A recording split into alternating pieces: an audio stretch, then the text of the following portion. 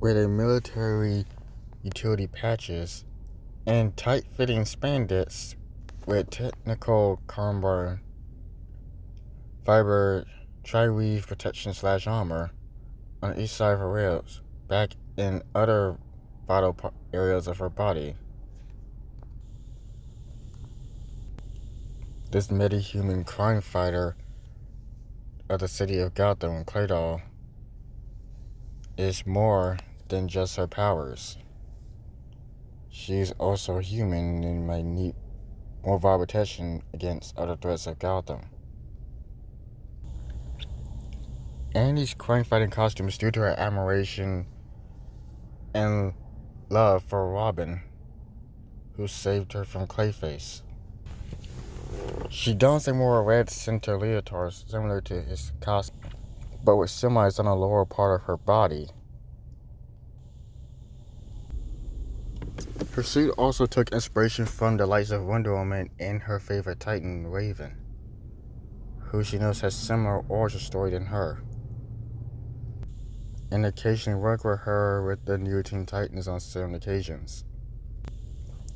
The yellow emblem on her chest is also bullet resistant and knife resistant than the rest of her suits.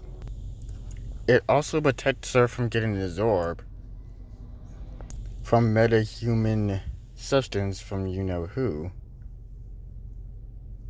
and can be durable enough to survive from knives and low caliber type guns, as well as a knife resistant collar around her choker where her neck usually be. The butt choker that you always see Indian is modded in with fabric made from Kevlar to protect her neck from blades and small caliber firearms, like in more vital parts of her suit. And her suit's also flexible enough for all free movement due to a lack of heavy armor. The cake can sometimes be more than just a simple fabric at times, but it used to be. Meaning it can easily be torn by any pretty much anything. Which means more work for Alfred, sometimes Selina, or Leslie to help replace it. Later it has counted way fabric that can slow bullet impacts like a heavy raindrops.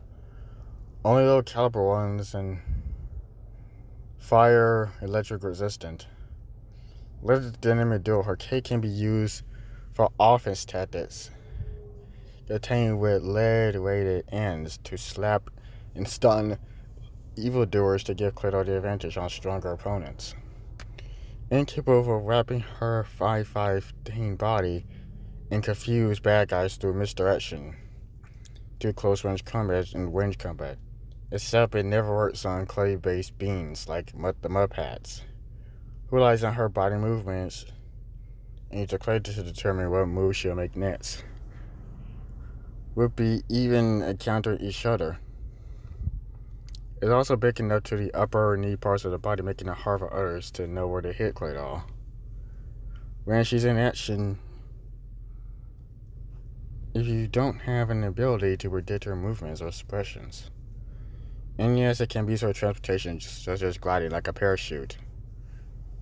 The Robin mask made to protect her identity from criminals and nosy reporters who try to know who she is and is mainly either black or dark green to hide her eyelids, to give her a mysterious vibe, regardless of her eye expressions and any emotions can be flexible and durable f- for the mask to move with her eyebrows and eyelids like blinking, giving her, making her more uncanny to the poor guy when she interacts with them.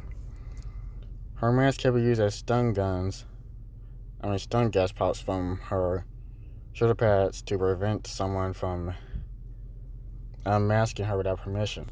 I eye visions like detective mode to scan impossible clues that the normal eye can't see. And white lens to protect her from wind and glasses, but not protect her from eye pokes.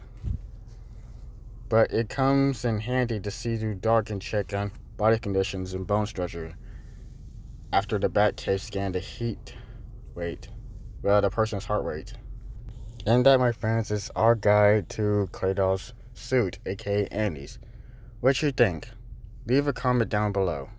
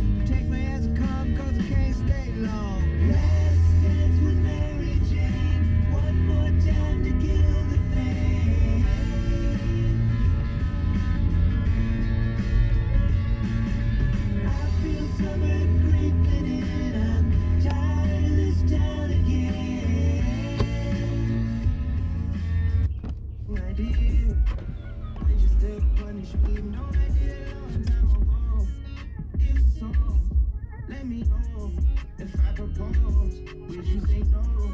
Would you break my heart? Would you embarrass me or play your part? Baby, don't fall.